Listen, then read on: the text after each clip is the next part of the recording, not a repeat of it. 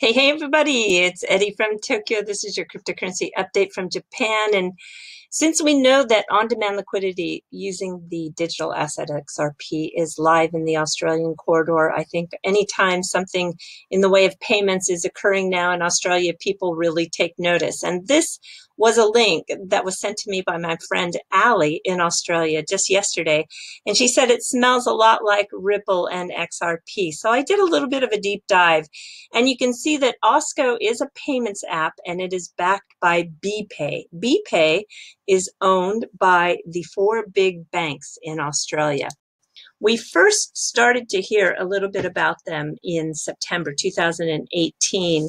They were trying to really get a launch off, and uh, well, they were a little bit slowed down because the two banks, ANZ or ANZ, as they say down under, and Westpac, had some issues in getting their integration uh, done, but they have gone live now, and this is a overlay service. Okay, so the purpose of bringing this to your attention is really twofold to show you how they are thinking about expanding uh, to overseas capabilities, but also to explain that Australia has this very unique NP P. It is the new payments platform. So with Osko, they can reach 42 million customers, and this is a layer that sits on top of this NPP. It is a service that enables real-time payments via email or mobile phone numbers. And the uh, looking at this NPP, it's it's really all inclusive. It was developed by 13 financial institutions.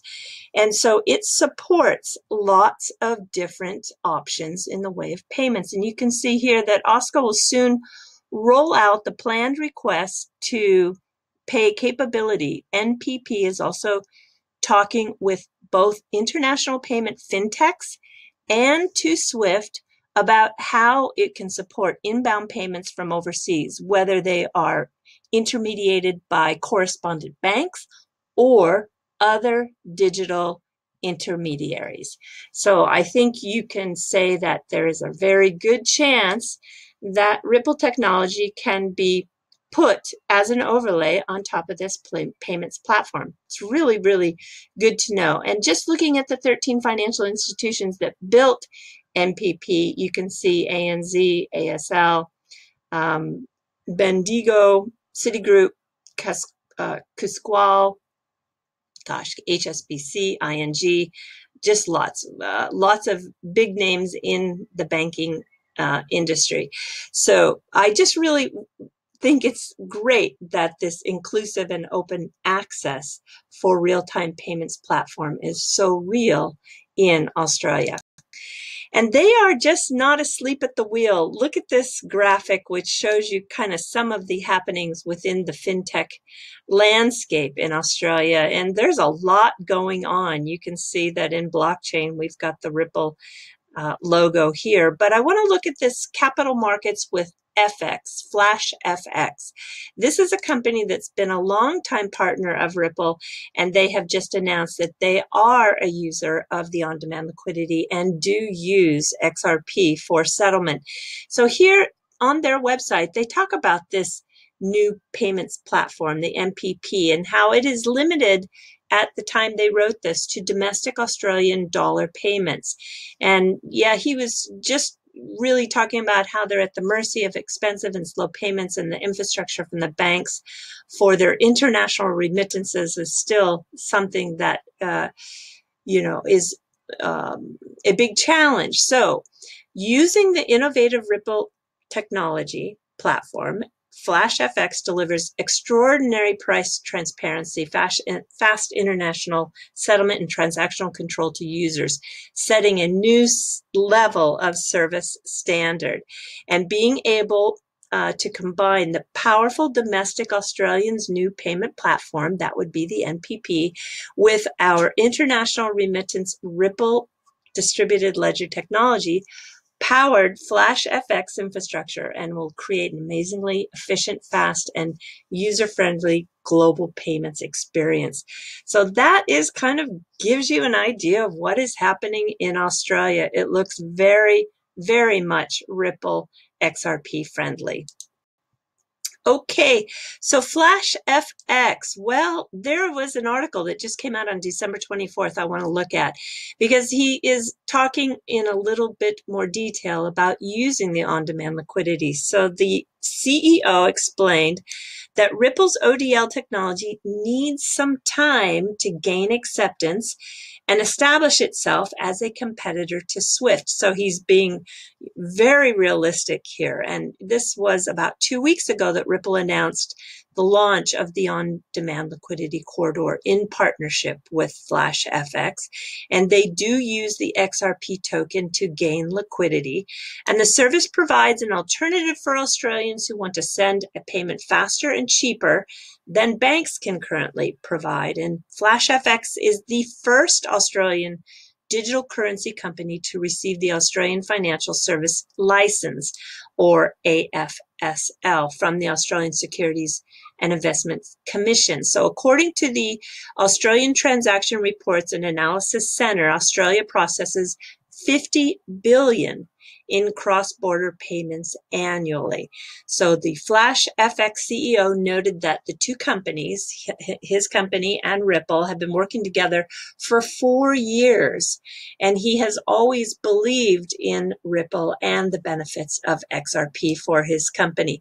And the acceptance of XRP transactions in ODL was initially difficult, he said, that most companies preferred to the well-known and therefore still used SWIFT that's the reality. It takes a long time to get people to change what they are comfortable for, even when they can save time and money. But it is coming because as he notes here that the ODL adoption, yes, may take some time, that it's not overnight that banks will jump on this. There's risk appetite and there's a number of different things from a regulatory perspective that they can do. But I think, you know, looking back on the last 12 or 18 months, it's improved continuously. So I like the way he is really not overhyping it and he is showing you that he uses it, he likes it, and it is getting better and better over the last 12 to 18 months. And finally, Flash FX is planning to expand their ODL service to Japan and they could take this step with the help of SBI. It, it is written in this article. Uh, and that will happen uh, probably in Q1 of 2020. Yeah, according to this interview. So, wow. I mean, yeah, we're getting there, everybody. We are getting there. I know it sometimes seems like this is a race with uh, the tortoise and the hare, but um, that tortoise just keeps moving forward.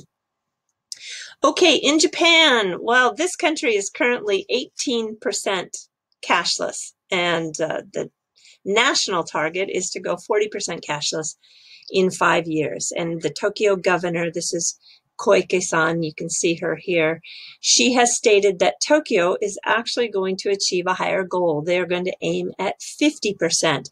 So from January uh, to February, this 2020, they're going to issue a new reward system with points.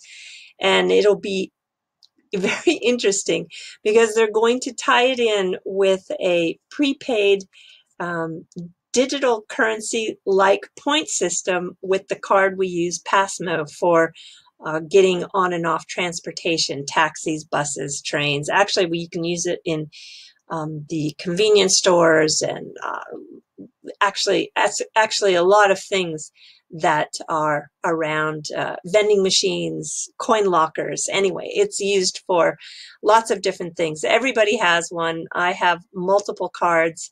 Um, yeah, it's just, gosh, it's it's it's it's it's it's the way to pass through the train system here. So they are going to first uh, provide these points in the way of what 25 million yen is going to be the campaign to start for the first two months, along with 47 different department stores in Tokyo. So you can you can get these points by staggering your commute time. It's so interesting because commute time on the trains here in Tokyo is pretty tight. It's pretty crowded. So they're going to encourage companies to allow uh, their employees to stagger commute times. I think this is really great concept and also the reduction of shopping bags. So if you are going to buy an official um, carry bag and and choose to say no to plastic bags, uh, that is another way that you can gain points in this system. I like it. I really like it. it it's going to be fun to follow.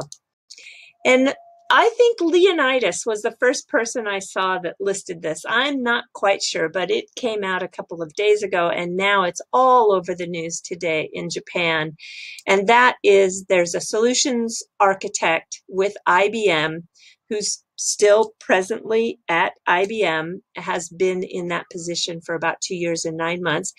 He has uh, put on his uh, LinkedIn page that he was performing proof of concept on RippleNet blockchain implementation for bank and interacting with various teams and client to gather information and drive various solutions. It looks like it was being done for a new app called Yono app, and it is a mm, it is something that the uh, SBI, the State Bank of India, is behind. And so I don't think we should be so surprised, and I'll tell you why. If you take a look at who is leading the blockchain um, adoption with IBM, and especially when he, um, this is J- Jason Kelley, when he spoke to CNBC this last summer, the general manager of blockchain services of IBM said that they were looking to collaborate with anyone moving into blockchain, no matter their focus. And he says that blockchain is a team sport and he's ready to work with other companies, including Facebook. And he sees it that we're all just on the same team and we want to score a goal and he wants to help these projects come to fruition. So however they weave it together there is data at the center, and whether it's regulators or platforms or what have you, uh, he he wants to break down these um, these infighting uh, that is sometimes found within uh, the technology, and I will show you here. This is the really great November 26th interview. It's short, only two minutes and 55 seconds long, where he talks about how he is really one to want to collaborate and he has this openness to work with anybody. So I am just not surprised to see that the IBM um, employee was doing a proof of concept with RippleNet. Yeah, just not surprising at all for me. All right, now I'm going to put a link to this in the description below, and I don't think I'm going to be in trouble for that. You know that there are a lot of people in the cryptocurrency space on YouTube that are um, being penalized with strikes and videos being taken down and um, gosh, you know, privileges being lost and, and risk of losing their channels. And we don't know exactly for sure. There is Jake Chervinsky, and he says that he's guessing that YouTube crypto crackdown has to do with the potential violations of the Securities Act 17B. It's an anti touting provision which requires promoters of securities to disclose any compensation they receive for their promotion. And he says, I'm surprised it took this long, honestly. Well, he's just guessing because we don't know. And I will tell you that what happened to me a couple of times in this last month, and it was something I shared with the people on the backside of Twitter through some direct messages. I'm um, in the zoo um, group and I asked if anyone else in the zoo was having the same trouble because for the it hasn't happened to me for about two weeks but about three times this last month i had some of my um, videos uh, not demonetized but put in kind of a holding pattern. They turned the green monetization symbol to a yellow a dollar sign, which means that there is something in the video that uh, is not uh, agreeable with all advertisers and therefore it wouldn't be monetized. And I, of course, couldn't figure that out because I hadn't changed any of my format. I hadn't changed the way I talk about um, this space. So I immediately appealed and I actually got a hold of someone in the chat. And that person told me that and this is part of YouTube, told me that the uh, launch of some new algorithms were put into place and that it wasn't perfect in the beginning because it was a, a technology that was learning. So it was, you know, one of those technologies that would get uh, more intelligent and it would learn as it went along and that they were really sorry that the uh, algorithms looked like it was causing a few people some trouble and and just be patient and someone will manually check your video and then should it be okay it will then get monetized. Now the three times that it happened to me the monetization one time took more than a couple of days.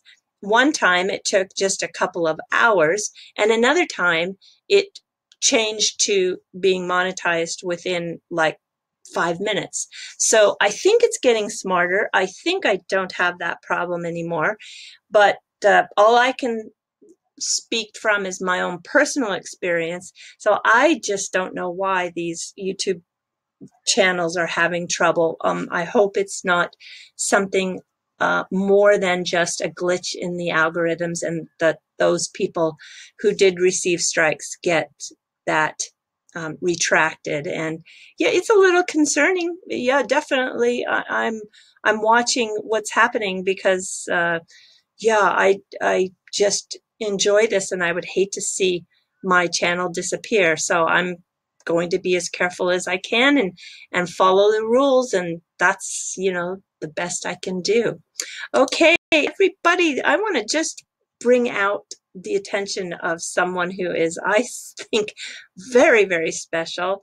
And this is a principal software engineer at Ripple. I learned that there's a, a women's conference for um, technology happening in Santa Clara, that is in the Bay Area of San Francisco, on May 4th and 5th. And there are just some amazing women from the technology industry, from Apple, Netflix, Oracle, Adobe, LinkedIn, IBM, Facebook, Google, Uber, Amazon, Disney, eBay, and Ripple. And check out Amanda. Amanda is leader uh, in blockchain and cryptocurrency based technology for the company Ripple. And she was the chief architect of Huawei Pay, for their device in the US and principal architect roles she held at Apple and PayPal.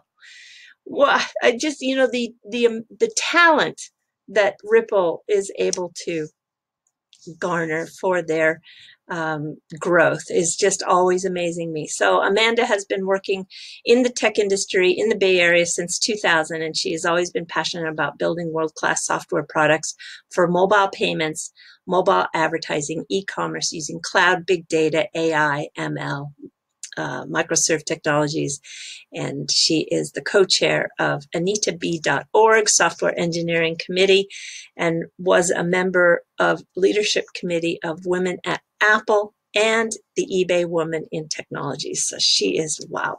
She's also an avid ballet dancer. So I just you, you, you just have to really pay attention to who is behind this company Ripple and getting the digital asset XRP out there in a use case that is going to change the world. And um, the people who just say that Ripple or XRP is a scam, I and then you read the kind of people that are working for them. It just, they are looking sillier and sillier by the day when they say that. Okay, everybody, I'm jumping to the fluff. So we just learned what children age 7 to 14 in Asia want to be when they grow up. And I just I just love this. So you can see Japan the number one job that people want to be uh, are business person. What business person is, is an office worker. That's what that means, is an office worker. Number two was teacher. Number three was doctor. In Korea, number one is a doctor, then entertainer, and third is police officer. Taiwan, teacher ranks number one. And Singapore, teacher. And Vietnam, doctor.